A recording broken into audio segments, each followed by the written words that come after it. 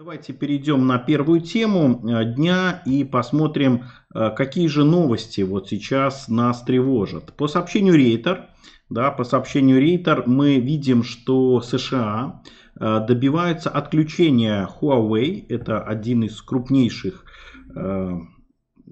одна из таких крупнейших компаний мира, которая занимается телекоммуникационным бизнесом, мобильными телефонами и многим-многим сетевым оборудованием. И вот в пятницу, то есть сегодня, США предприняли меры, чтобы лишить Huawei доступа к поставкам э, на рынок мировой да, производителей, чтобы они ему отрезали вот поставки микросхем.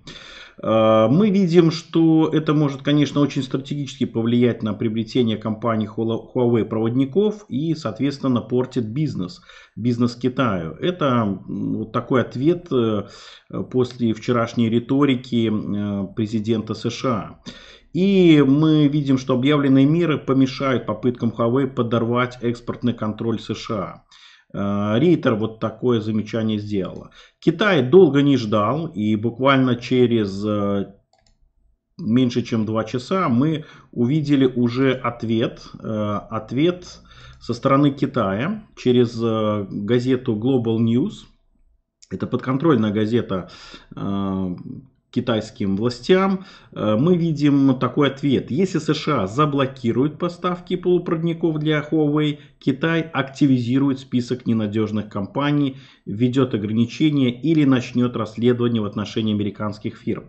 Э, в Твиттере вот написал главный редактор Global Times.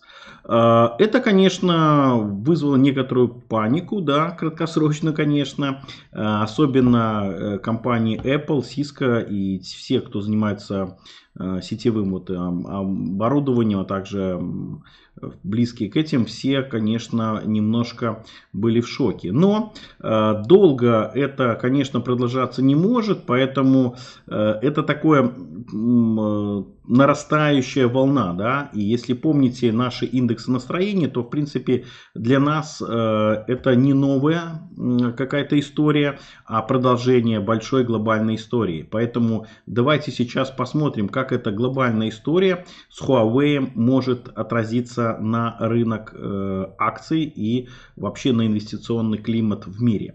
Э, ну, Прежде всего, я хотел бы э, вам напомнить, что Huawei это очень большая компания, 858 э, юаней миллиардов э, выручка, это более чем 100 миллиардов долларов в разных сегментах и для потребителей, и для бизнеса. Вот. В общем-то, мы видим, что на территории Китая это 59% выручки и в юго-восточном регионе, а, Азиатско-Восточном регионе 54. Э, в Америке не так много продаж, 9%, но влияние э, сильное, если американцы э, вот, сделают то, что они хотят, ограничат эм, применение вот, полупроводников продукции Huawei.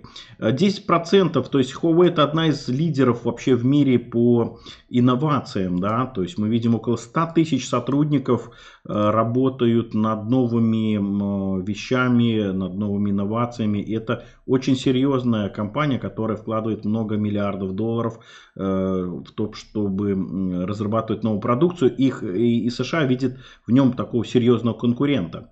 А вчера, вы помните, мы э, рассматривали компанию Э, Xiaomi, да, это тоже китайская компания, и вот эта война, конечно, может вызвать вот э, достаточно такую серьезную негативную реакцию на фондовом рынке. Вот. Ну, давайте вспомним вообще, что сейчас творится по фондовому рынку и э, как эта война э, вот э, ограничивает восстановление. Э, вспомним, что сейчас акции находятся в таком достаточно узком коридоре, да, то есть мы видим, что э, такого вообще оптимизма сильного нету, э, то вверх, то вниз. Э, похожая ситуация была э, в 2018 году в конце, потом мы увидели падение тоже из-за торговой войны, да. Э, возможно, это повторение сценария будет, поэтому нам очень важно смотреть за торговыми новостями, но об этом мы еще коснемся.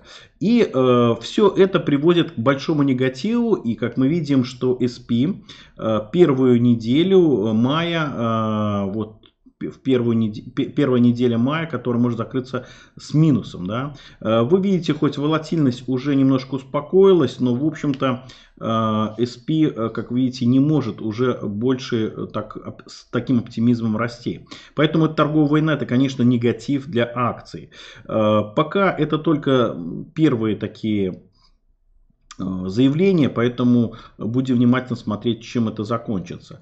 А сейчас мы, конечно, видим, что торговая война совсем не к месту, потому что э, вот в Америке э, мы уже увидели объем, э, совершенно новенькие данные, буквально свеженькие, объем промышленности упал э, более 10%. Такое падение было только в Великую Отечественную войну в 40-е годы. Да? В Великой депрессии то э, таких сильных падений не было объемов промышленного производства месяц к месяцу. Это вина, конечно, карантин. И вот это все э, накладывает такой негативный отпечаток для торговой войн. Вообще сейчас торговые войны не очень позитивное явление, потому что и так, как мы видим, инвесторы не хотят вкладывать в какие-то э, ну, э, не, не местные рынки. Да? Вот мы видим пример, японский рынок э, с марта, когда началась пандемия, иностранцы забирают деньги. Да? 13 недель подряд